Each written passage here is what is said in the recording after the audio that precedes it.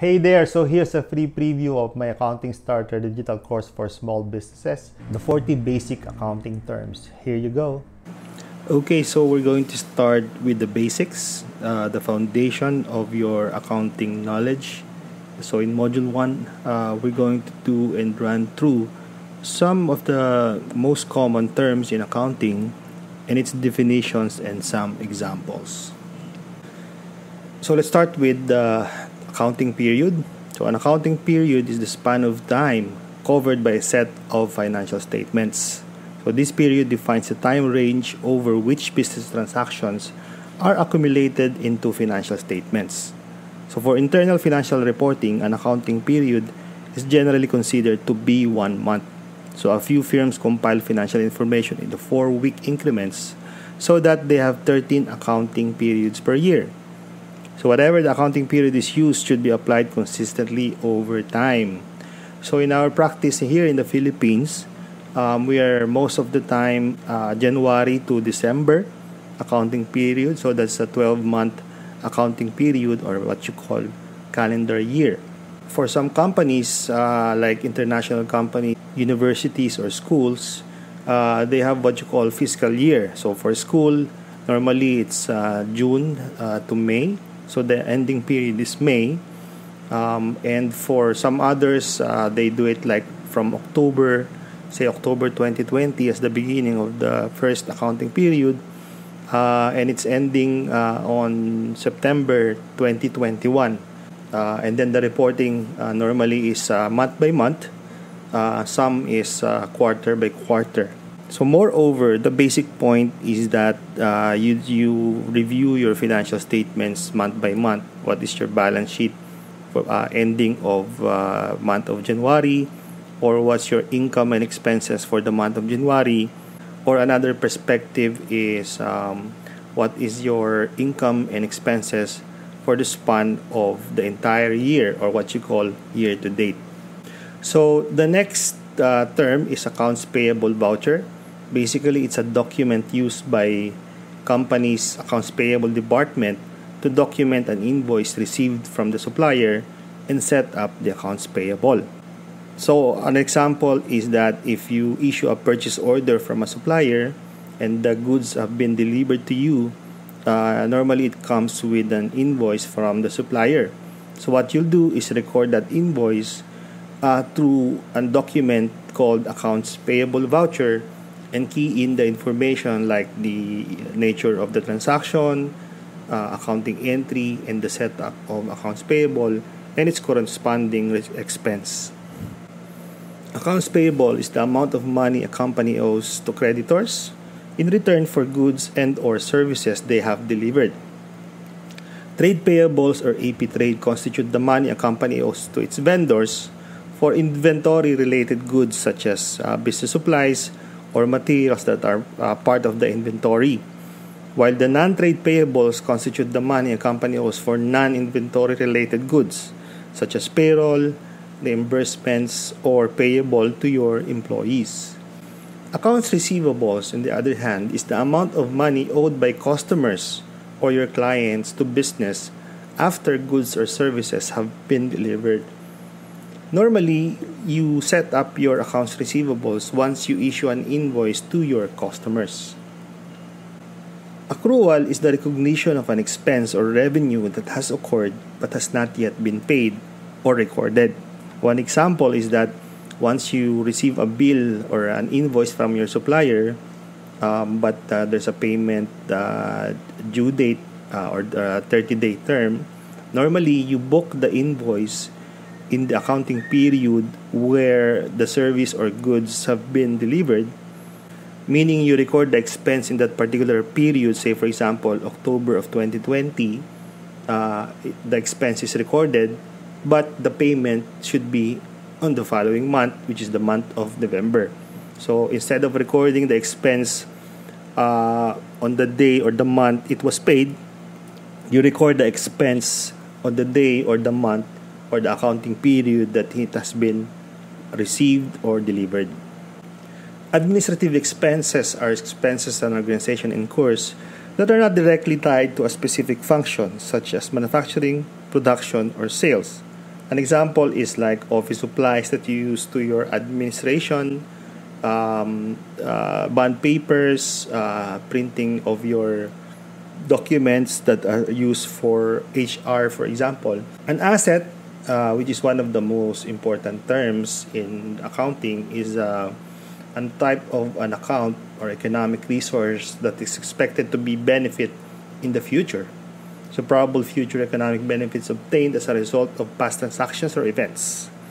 Current assets are those that are, will be converted to cash within one year. Typically, this could be cash in bank, your inventory, or your accounts receivables. Fixed assets or FA are long term and will likely benefit to a company for more than one year, such as real estate, land, or major machinery. Audit it's a professional examination of a company's financial statement by a professional accountant or group to determine that the statement has been presented fairly and prepared using GAAP or generally accepted accounting principles.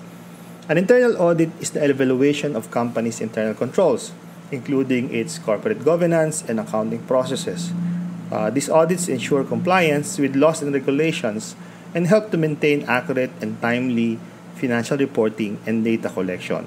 So basically, uh, you perform the audit so that you make sure that the reports that are will be submitted to the management and to the government are accurate and timely. Balance sheet, uh, one of the major financial statements, uh, is a financial report that summarizes a company's financial position, which are the assets, what it owns, the liabilities, what it owes, and the owner or shareholder equity at any given time. So, pretty much that's the financial position of the company and where you will see if the company is doing well and making well. A bank reconciliation is a process by which an accountant determines whether and why there is a difference between the balance shown in the bank statement and the balance of the cash account in the firm's book balance or record. So, for example, uh, all the checks that you record in your books will not necessarily uh, be cleared in the bank uh, at the period uh, that the transaction was booked. So, what you do is you get a bank statement from the bank and then compare it to your books and reconcile it if the check has cleared or not yet cleared. So, in the end, uh, you see your uh, actual and current cash position uh, based on the bank reconciliation report that will be generated. Bookkeeping is the process of recording financial transactions and keeping financial records. So, generally, the act of recording your transactions and preparing documents in your accounting is what you call the bookkeeping. Cash flow it's a net of cash receipts and cash disbursements relating to a particular activity during a specified accounting period. Say, for example, all the cash inflow, which are the receipts, uh, will, will be added up to your bank or cash balance. Then all the disbursements, all the checks that you prepare and disburse uh, will be a cash outflow. So, in summary, the cash inflow uh, minus the cash outflow will be your net cash balance for the specified accounting period. Chart of accounts is an index of all financial accounts in the general ledger of a company. So, in short, it is an organizational tool that provides a digestible breakdown of all financial transactions that a company conducted during a specific accounting period, broken down into subcategories. Examples are cash, accounts receivables, fixed assets, accounts payable, capital stock, your income, your rent expenses, administrative expenses like salaries and wages, and whatnot. A check voucher, similar to your accounts payable voucher, is a document um, which is a combination of a check and a voucher, also known as a remittance advice, which includes pertinent information about the parties to the transaction thus creates an auditable paper trail about the check's payment. Cost accounting uh, is the procedure used for rationally classifying, recording, and allocating current or predicted costs that relate to a certain product or production process. So basically, the computation of your material cost, your labor cost, and overhead during the production of your finished goods uh, is considered the process of cost accounting. Cost of goods sold. So it's a figure representing the cost of buying raw materials and producing finished goods. So relevant to the term cost accounting or cost accounting procedures, cost of goods sold is the actual sum or the result of your cost accounting. Credit or CR is an accounting entry that may either decrease assets or increase liabilities and equity on the company's balance sheet depending on the transaction. When using the double entry or the, what you call accounting journal entries, um, there will be two recorded entries for every transaction a debit and a credit so the credit again is either decrease of assets or increase in liabilities and equity Debit, on the other hand, or what you call DR, is an accounting entry when, where there is either an increase in asset or a decrease in liabilities on company's balance sheet. So later on, we're going to be discussing the details of that uh, in our one of our modules. Depreciation is an expense allowance made for wear and tear of an asset over its estimated useful life so pretty much when you acquire an asset like a vehicle, um, you won't or you don't record it as an expense in an accounting period. So what you do is record expense based on its wear and tear and usage depending on in, uh, its estimated useful life. Disbursement is basically a payment by cash or check. This is normally supported by a check voucher discussed earlier and the supplier invoice as its source document. EBITDA is earnings before interest, taxes, depreciation, and amortization is a measure of a company's overall financial performance. So, for example, um, your top line here rev- or revenue is 100,000 and you have an operating expenses of about 60,000 then your EBITDA is uh, shall be 40,000 it says here that it's before the depreciation, amortization, and other expenses like taxes and amortization. So if you less this information, uh, the bottom line shall be your net income. But if you want to analyze your financial performance before the depreciation and the amortization, then that's what you call your EBITDA. Equity is a residual interest in the assets of an entity that remains after deducting its liabilities. Some uh, call it as net worth. So also it's the amount of a business total assets less total liabilities. It's the, the third section of a balance sheet. And then the other two being assets and liabilities. GAAP or generally accepted accounting principles refers to a common set of accounting principles standards and procedures issued by Financial Accounting Standard Board. So basically, uh, it's a standard across all companies in terms of uh, preparing their financial statements like balance sheet or income statement.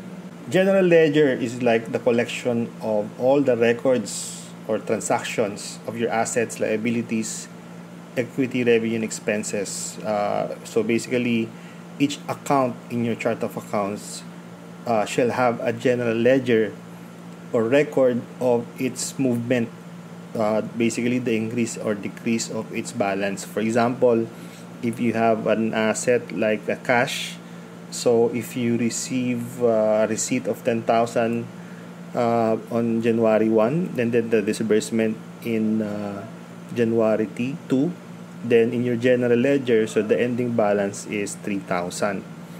Uh, so pretty much the this type of report uh, is called your ledger or general ledger. Gross profit will appear on a company's income statement and can be calculated by subtracting the cost of goods sold or what you call the direct cost from revenue or sales. These figures can be found on a company's income statement. For in this example, the revenue is your 100,000 the cost of goods sold or direct cost is 60,000 and the difference will be called the gross profit. And then, with what we have discussed earlier, less the operating expenses shall be called the EBITDA. Income tax is a type of tax the government imposes on income generated by businesses and individuals within their jurisdiction. By law, the taxpayers must file an income tax return or ITR annually to determine their tax obligations. So no, in the Philippines, normally it's every April 15, uh, but uh, there's also a quarterly uh, filing of the ITR. So to compute for the income tax uh, would be your net income multiplied by the percentage of the current uh, income tax rate. And that will be your payable to the government or the BIR. Inventory is the term for the goods available for sale and raw materials used to produce goods available for sale. So, inventory represents one of the most important assets of a business because the turnover of inventory represents one of the primary sources of revenue generation and subsequent earnings for the company shareholders. So, pretty much we book the inventory every time we acquire or purchase goods from the suppliers for your merchandise or raw materials to produce the finished goods. So those record or the value of that inventory will depend on the uh, purchase cost uh, from the supplier. The journal entry or accounting entry or sometimes called the double entry or is a kind of notation in the general ledger to update balances. It records a single transaction. So in this example, uh, there's a debit and the credit so this accounting entry should always be in balance, meaning the debit shall always be equal to the total credit. And uh, this accounting entry, uh, later on, uh, I will discuss that in the next modules uh, of how it affects to the financial statements or the balances in your chart of accounts.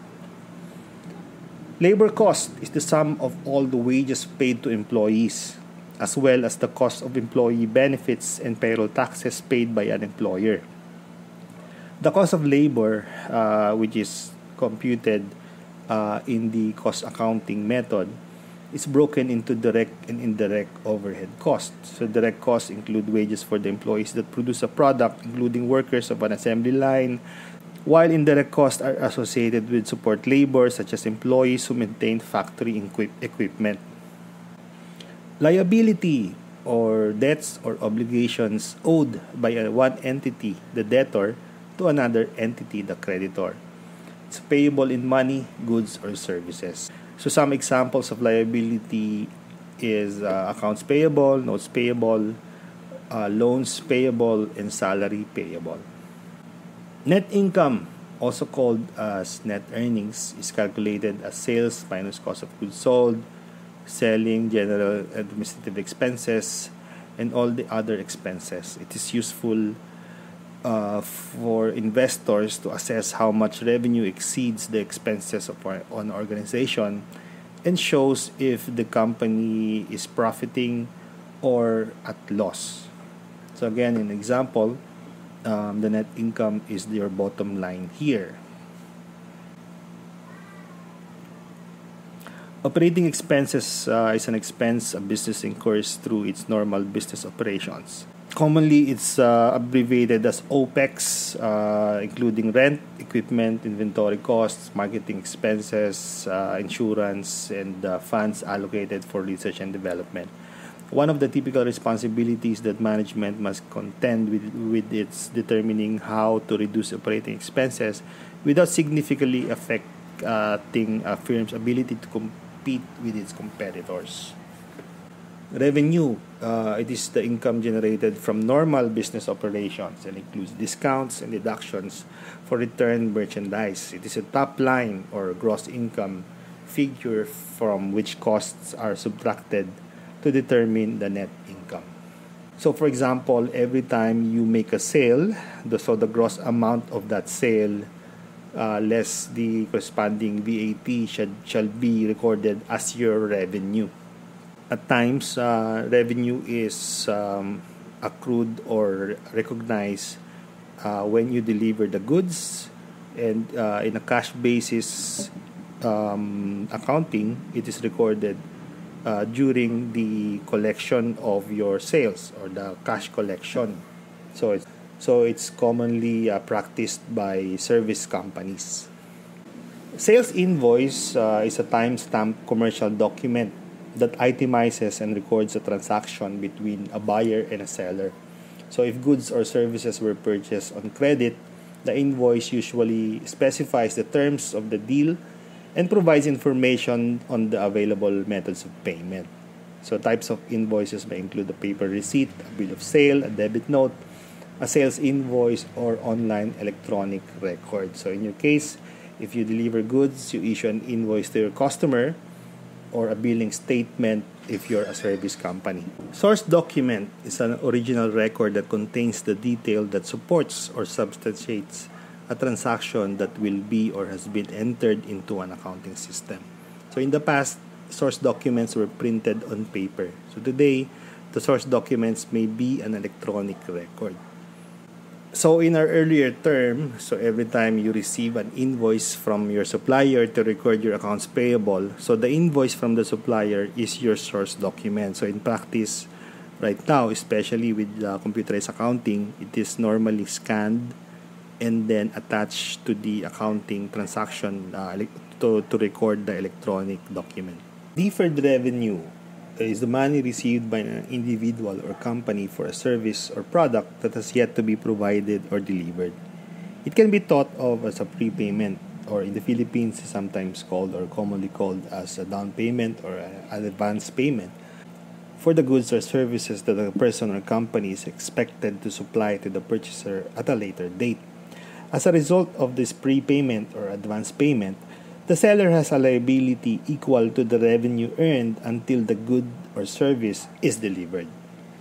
VAT or value added tax. So it's a consumption of tax le- levied on the value added to a product at each stage of its manufacturing cycle, as well as the time of purchase by the ultimate consumer. So to compute for the value added tax here in the Philippines, so the product net price, for example, it's 10,000. Uh, then you add the VAT, which is 12% of the net price, uh, equivalent to 1,200 in this case. So the product gross price shall be 11,200. So normally in the Philippines, it is mandated that you always put uh, the gross or the VAT in your invoice to indicate that there's a VAT of 12% and uh, added to the net price. Withholding tax compensation is the amount of an employee's pay withheld by the employer and sent directly to the government or BIR as partial payment of income tax. So in this case, if the employee employee pay is 50,000 for the current cut-off or uh, month, then uh, it, you you less the corresponding withholding tax based on the BIR tax matrix, which for example in this case is 25 then the, the only pay that you will issue to your employee is 47,500 and then the 2,500 shall be remitted to the BIR uh, in the next period. Withholding tax expanded, on the other hand, is the amount due to supplier withheld by the buyer or sent directly to the government as partial payment of income tax. So in this case, if the supplier issues an invoice worth 50,000 then the withholding tax for goods normally is 1%. So you withhold the 500 from your supplier and just issue a payment of 49,500 to your uh, supplier. Then the 500 shall be remitted to the government or the BIR in the next accounting period. So there you go. So we have uh, finished uh, 40 basic accounting terms, um, which will be your foundation in the next coming modules. So thank you so much for your patience and uh, see you in the next video.